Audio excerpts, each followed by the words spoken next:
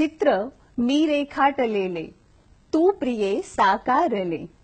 गडदरंगी रंगलेले ते खरे की हे खरे? हे गीतातील शब्द खरं तर प्रियकर आणि प्रेयसींमधला संवाद जरी असला तरी सुद्धा एखाद्या चित्रकारानं रेखाटलेलं चित्र हे वास्तवात उतरू शकतं आणि आकाराला येऊ शकतं हा त्यामागचा भावार्थ आहे. एखाद्या चित्रकारानं रेखाटलेलं चित्र हे इतकं वास्तववादी वाटू शकतं असा प्रश्न पडतो. आणि मग असं वाटतं की हे खरं की ते खरं. चला तर पाहूयात अशाच चित्रांचा चित्रप्रदर्शन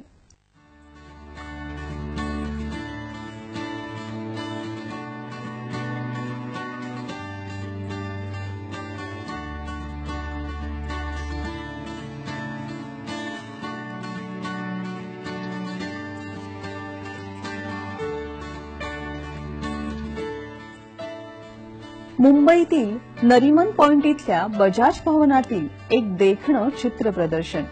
शीर्षक आत्मरती. चित्रकार आशिफ शेख.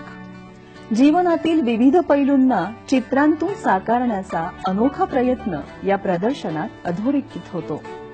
अहमदनगर येथील या चित्रकारानं बालपणापासून जे जे पाहिलं आणि जे जे मनात साठून राहिलं ते कॅनव्हासवर साकारलं. असं या चित्र प्रदर्शनाचं स्वरूप आहे. अहमदनगरमधील साखर कारखान्याच्या पार्श्वभूमीवर बैलांचे कष्ट आणि कच्चा माल याची ने आण या संदर्भातून चित्र निर्मिती झाली.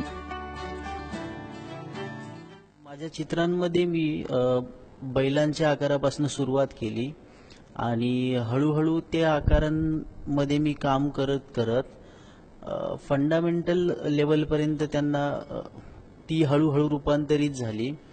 ॲक्च्युली या माझ्या चित्रांची सर्व टायटल जी आहे ती कलर्स ऑफ लाईफ आहे. म्हणजे मी माझ्या जीवनात घेतलेल्या खडतर अनुभवांना या चित्रातनं मांडण्याचा प्रयत्न केला आहे. की आजच्या काळांमध्ये लोकांना खूप फास्ट रिझल्ट हवा असतो. आणि स्ट्रगल किंवा मेहनत करायला कोणी तयार नाही. तर त्या शृंखलेवरती मी चित्र करून जेन्युअनली जी लोक स्ट्रगल करतात आणि स्ट्रगल केल्यानंतर त्यांना जे काय लाईफमध्ये अचीव मिळतं अचीव करतात ते तर त्या गोष्टींना मी माझ्या चित्रांमध्ये मांडण्याचा प्रयत्न केला आहे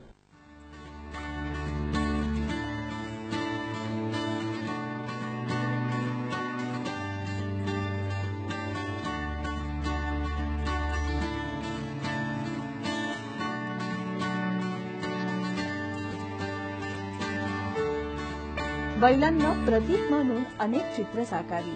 अनुभव विश्व विस्तारत गेलं आणि चित्रकलाही बहरून आली.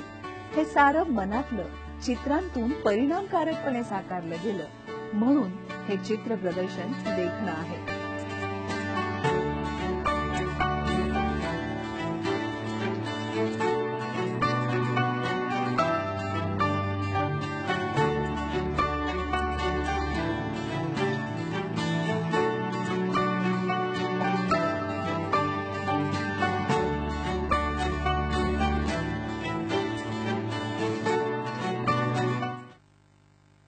डिसेंबर महिन्याची तीन तारीख संपूर्ण विश्वाला परिचित आहे ती जागतिक अपंग दिन म्हणून.